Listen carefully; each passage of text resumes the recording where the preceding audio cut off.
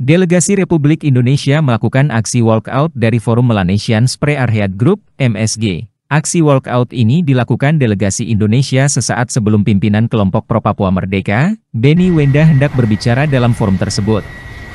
Aksi WO delegasi RI dilakukan dalam forum pertemuan puncak para pemimpin MSG ke-22 di Port Vila, Vanuatu. Aksi WO delegasi Indonesia ini pun kemudian viral di media sosial. Sejumlah delegasi lain juga tampak mematung dan tak banyak bereaksi saat Delegasi Indonesia walkout, aksi walkout ini diketahui dilakukan karena pemerintah RI tidak mengakui adanya Gerakan Persatuan Pembebasan Papua Barat, ULMUP, yang dipimpin Benny Wenda.